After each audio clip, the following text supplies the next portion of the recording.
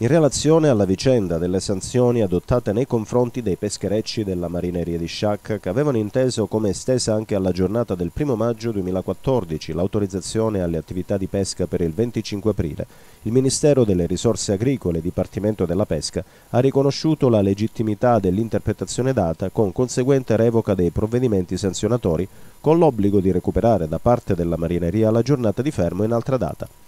La disposizione del Ministero, dichiara il deputato regionale Lillo Firetto, che era intervenuto sul caso presso le autorità competenti, costituisce un atto minimale di giustizia per la marineria saccense, in particolare per le imbarcazioni che praticano lo strascico e le volanti, ultimamente particolarmente tartassate da disposizioni stringenti e non effettivamente in linea con le esigenze ambientali.